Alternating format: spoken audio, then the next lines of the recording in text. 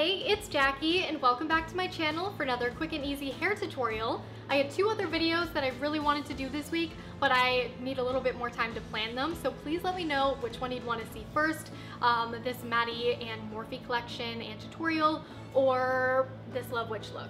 Comment down below, I'll gauge the enthusiasm for next week's video, but I wanted to share this quick and easy bun. It's textured and braided. You can like wear this in a sweater to the grocery store or on a date. It's just very versatile and I hope you guys enjoy. If you do, make sure you give it a thumbs up and hopefully you my attempt at digital art in the intro. I'm trying to learn Procreate as a new skill. I finally got an iPad. I've been wanting one for forever and yeah, I've been learning with Skillshare. So this video is in partnership with Skillshare and if you don't know what that is, I'm sure you guys guys, a lot of you do, but it is an online learning community and there's over 25,000 courses taught by professionals. You can learn about art, photography, videography, like a lot of creative stuff, but they also have like business classes. And the course that I am taking right now is by Jarom Vogel, and he's teaching um, digital illustration on Procreate.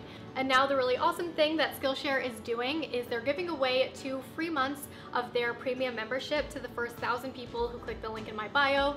So pretty amazing. You can learn new skills or you know, something that you wanted to learn in quarantine. And then after the two months free, it is $10 per month. I chose Procreate because a lot of you have sent me amazing digital illustrations and it's inspired me. So thank you. And hopefully you get inspired with this hairstyle as well. So long intro, but let's get into it. Part of the reason I love this look is it's great for second or third day hair and we can work with the texture.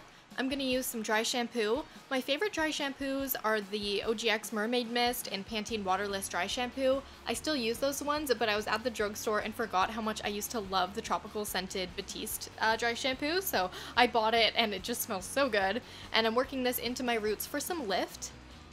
And most of the looks when I'm taking photos, I do add a three clip weft of extensions so that I don't get holes in the braid or the bun because my hair is thinner, looks a lot better um, in photographs, but this is always optional. I just like to show it so you guys know when I'm using extensions and when I'm not, but you definitely don't have to do this.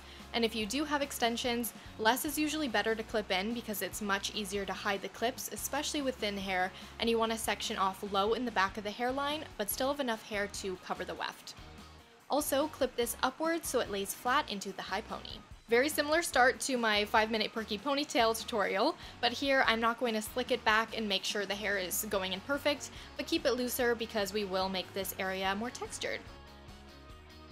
Once you have a sturdy elastic in, take your fingers and pull up small sections around the hair for a piecey texture. I especially like to do this in the middle and tousle it so I don't really have a part. And with the hanging long ponytail, this uh, texture would get really messy throughout the day from the weight of the pony moving around, but once the bun is pinned in place, the texture stays and won't get all wonky. Now create a tight braid with the length of the pony. You want the base of the braid not to be too loose because when the bun is wrapped, it will create a big bubble. And a tip for long hair or hair with layers, once you're at the point when your strands are different lengths and the braid can't go on, just redivide the bottom into three by taking some of the longer or thicker strands into the other two and then, you know, continue to braid. Secure with an elastic, I'd usually use a mini one, I just couldn't find any, so I'm using a thicker elastic here, and let's loop around the back and have the braided portion facing the front. Play with this shape and let's use bobby pins to secure to the scalp. I like to bring the sides of the braid farther out so it's more like a wider crown shape.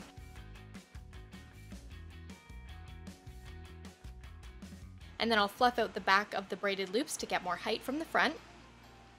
You do want to spread out the loops gently after you've already pinned for the least amount of flyaways and it's easier for your hair to really keep that bun shape with um, dense hair instead of like pulling the braid to be thinner at the beginning and we only have one more styling step. Take down some face framing pieces. Try to do this lightly. I take my fingers and feather around my hairline so I only take down what falls easily because pulling too much can really disrupt the style. You get another bubble there. And one of my favorite products that used to be my least favorite actually from OGX is the Natural Finish plus Aspen Extract Dry Texture Finishing Spray. I guess I just didn't use it for the right um, technique when I first tried it, but it's great for adding a bit of grit and texture. So I mixed this into the piecey style again, and then I group those sections that I've already created together and give it a little rub between my fingers with the product, and it just really makes sure that you get that cool effect. And there we have the completed bun. I know this is so easy. Sometimes I think you might want to only see more elaborate looks, but this is a style that I keep wearing, especially because it's so hot right now and it's nice to have the hair out of the face, but still styled. So let me know what you think, and I've been posting my outfits over on Instagram, and the details for these everyday makeup looks um, are also on Instagram if you want to know what products are used. I do get asked to do more like everyday tutorials, but then they really don't perform. So I'm trying to do more of that on Instagram. Thanks for watching. I hope you guys enjoyed this quick tutorial this week. And if you did, make sure you give it a thumbs up and subscribe for more like it. I would love to see you rocking this style. So be sure to tag me over on Instagram if you try it out so I can feature you in my next video.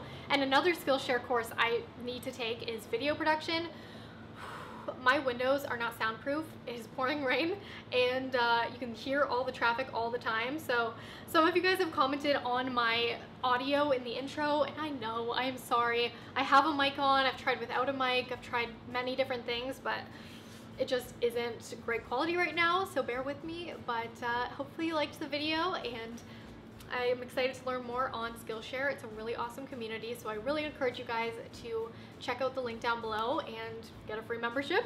And anyways, I will see you in my next video.